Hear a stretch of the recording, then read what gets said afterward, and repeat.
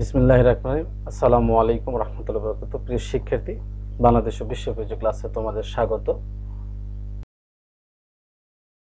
আমি মোহাম্মদ হুমায়ুন কবির, সহকারী শিক্ষক এপিবির পাবলিক স্কুল ও কলেজ বগুড়া।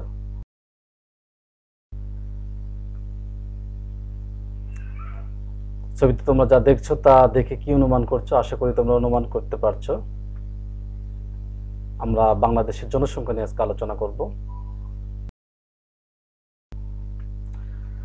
আজকের পাঠ বাংলাদেশের জনসংখ্যা উন্নয়ন। আজকে আমরা পাঠ এক নিয়ে আলোচনা করব। আজকের পাঠ শিরোনাম হবে, বাংলাদেশের জনসংখ্যা নীতি। আমরা এই পাঠে যা শিখব, বাংলাদেশ এবং যুক্তরাষ্ট্রের মাথাপিছু আয়ের তুলনা করতে পারব। বাংলাদেশের জনসংখ্যা নীতি আমরা ব্যাখ্যা করতে পারব এই পাঠ থেকে। প্রথমে আমরা বাংলাদেশ এবং যুক্তরাষ্ট্রের মাথাপিছু আয়ের তুলনা দেখব। আমরা বাংলাদেশের মানচিত্র দেখতে পাচ্ছি এবং পাশে ইউনাইটেড স্টেট অফ আমেরিকা অর্থাৎ যুক্তরাষ্ট্রের মানচিত্র দেখতে পাচ্ছি। এই দুই দেশের মধ্যে আমরা মাথাপিছু আয়ের তুলনা দেখব। প্রথমে আমরা যদি দেখি বাংলাদেশের ক্ষেত্রে, যে বাংলাদেশের প্রতি বর্গ কিলোমিটারে বারোশো বান্ন জন লোক বাস করে, অর্থাৎ এক হাজার দুশো বান্ন জন লোক বাস করে এবং মাথাপিছু আয় মাত্র ষোলোশো দশ মার্কিন ডলার দু হাজার সতেরো সাল অনুযায়ী। এদিকে যুক্তরাষ্ট্রের প্রতি বর্গ কিলোমিটারে পঁয়ত্রিশ জন লোক বাস করে এবং মাথাপিছু আয় মাত্র আটান্ন হাজার তিরিশ মার্কিন ডলার দু হাজার ষোলো অনুযায়ী।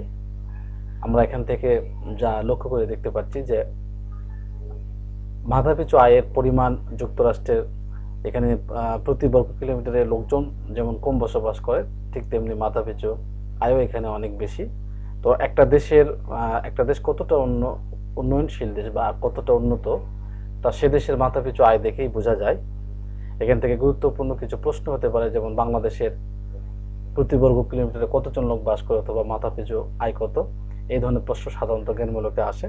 তো সুতরাং এই তথ্যগুলো তোমাদের অবশ্যই আত্মস্থ করতে হবে এবং মুখস্থ করতে হবে।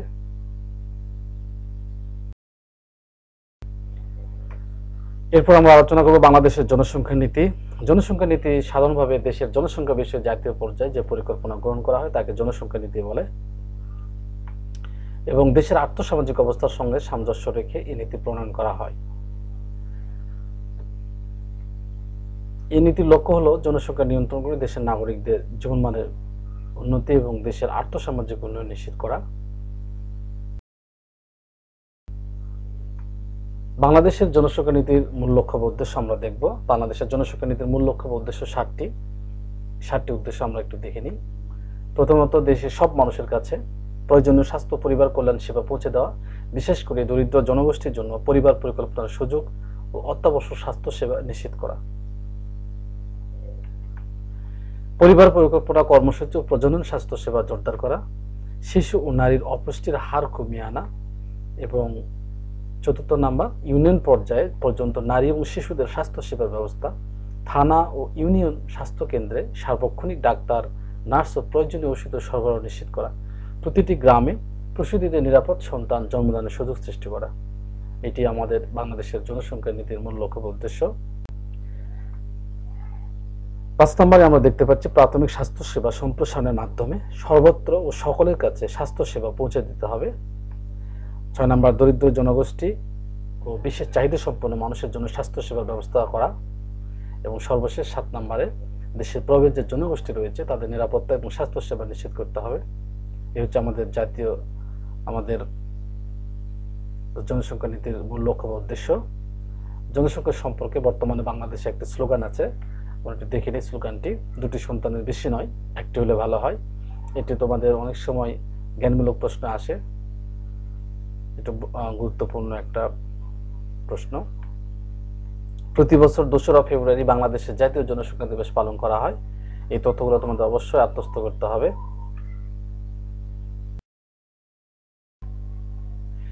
আমরা যা কিছু আলোচনা করলাম, তার পরিপ্রেক্ষিতে কিছু সম্ভাব্য জ্ঞানমূলক প্রশ্ন আমরা দেখব। অতীব জরুরি যে প্রশ্নগুলো যেমন জনসংখ্যা সম্পর্কে বর্তমানে বাংলাদেশের স্লোগানটি কি? জনসংখ্যা সম্পর্কে বর্তমানে বাংলাদেশের স্লোগানটি হচ্ছে, দুটি সন্তানের বেশি নয়, একটি হলে ভালো হয়। কোন দিনটিকে জাতীয় জনসংখ্যা দিবস হিসেবে উদযাপন করা হয়? দোসরা ফেব্রুয়ারি জাতীয় জনসংখ্যা দিবস হিসেবে উদযাপন করা হয়। বাংলাদেশে প্রতি বর্গ কিলোমিটারে কতজন লোক বাস করে? বাংলাদেশে প্রতি বর্গ কিলোমিটারে এক হাজার জন লোক বাস করে। এখানে মাথাপিছু আয়ও প্রশ্ন হতে পারে। সুতরাং সেই সেই তথ্যগুলো আমাদের জানতে হবে। যুক্তরাষ্ট্রে প্রতি বর্গ কিলোমিটারে কতজন লোক বাস করে? যুক্তরাষ্ট্রে প্রতি বর্গ কিলোমিটারে পঁয়ত্রিশ জন লোক বাস করে। জনসংখ্যার নীতি কাকে বলা হয়? একটা দেশের জনসংখ্যা বিষয়ে জাতীয় পর্যায়ে পরিকল্পনা গ্রহণ করার জন্য যে দিক নির্দেশনা প্রণীত হয়, তাকে বলা হয় দেশটির জনসংখ্যা নীতি। এবার আমরা সম্ভাব্য কিছু অনুধাবনমূলক প্রশ্ন দেখব। এই পার্ট এক থেকে আমরা যা কিছু আলোচনা করলাম তার পরিপ্রেক্ষিতে জনসংখ্যা নীতি বলতে কি বোঝায়? সাধারণভাবে দেশের জনসংখ্যা বিষয়ে জাতীয় পর্যায়ে যে পরিকল্পনা গ্রহণ করা হয় তাকে দেশের জনসংখ্যা নীতি বলা হয়? দেশের আর্থসামাজিক অবস্থার সঙ্গে মিল রেখেই এই জনসংখ্যা নীতি প্রণয়ন করা হয়। জনসংখ্যা নীতির মূল লক্ষ্য হলো জনসংখ্যা নিয়ন্ত্রণপূর্বক নাগরিকদের জীবনমানের উন্নতি এবং দেশের আর্থসামাজিক উন্নয়ন নিশ্চিত করা। দুই নম্বর প্রশ্ন আমরা দেখে নিই, জনসংখ্যা নীতির মুখ্য উদ্দেশ্য ব্যাখ্যা করো। জনসংখ্যাকে আর্থসামাজিক পরিবর্তনের সাথে সামঞ্জস্য বিধানের প্রত্যাশিত লক্ষ্যে পৌঁছানোই হলো জনসংখ্যা নীতির মুখ্য উদ্দেশ্য। এছাড়া জনসংখ্যা নীতির অন্যতম কাঙ্ক্ষিত লক্ষ্য হলো বর্তমান ও ভবিষ্যৎ নাগরিকের জীবনমান উন্নয়ন এবং উৎকর্ষ সাধন করা।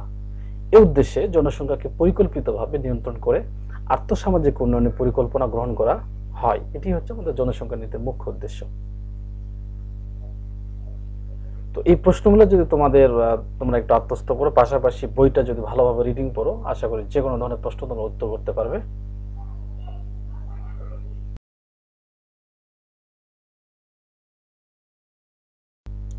তো প্রিয় শিক্ষার্থী, তোমরা ভালো থাকবে, সুস্থ থাকবে এবং কন্টিনিউয়াসলি পড়াশোনা করে যাবে ইনশাল্লাহ আগামীতে আবার তোমাদের এই অধ্যায়ের পার্ট দুই নিয়ে আলোচনা করব। এই প্রত্যাশায় আজকে এখানে বিদায় নিচ্ছি। আল্লাহ হাফেজ। আসসালামু আলাইকুম রহমতুল্লাহ বরকাত